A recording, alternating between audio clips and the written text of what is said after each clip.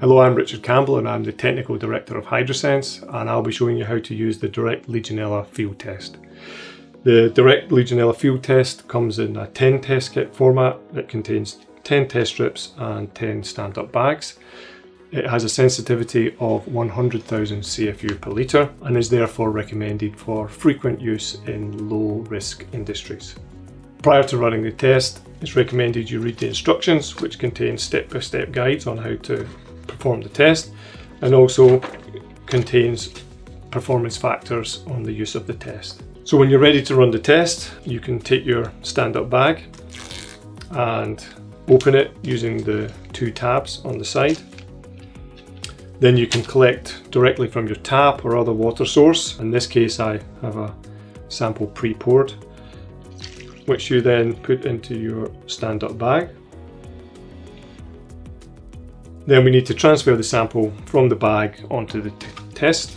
So we remove the test from its packaging and then place it on a flat surface.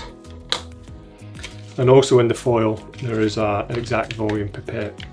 So in order to use the pipette, you depress the top bulb and place the tube into the sample and then let this bulb go and it draws up the liquid. In this tube here is exactly 100 microliters of sample and this excess here in this bottom bulb should not be applied to the test. To transfer the liquid from the pipette to the test, we again press the top bulb whilst holding it over the sample port.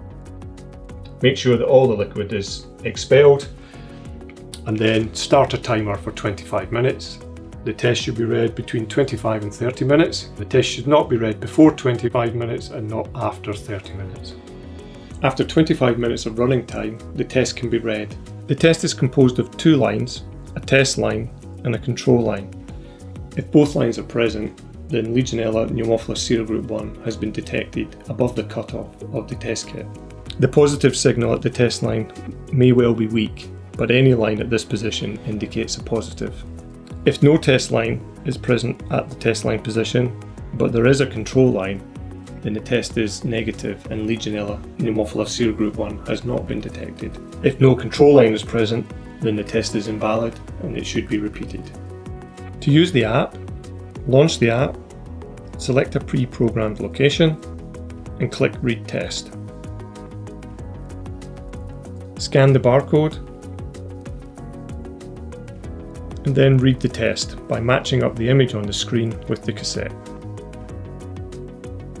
The positive result indicates that Legionella pneumophila serogroup 1 has been detected in the sample.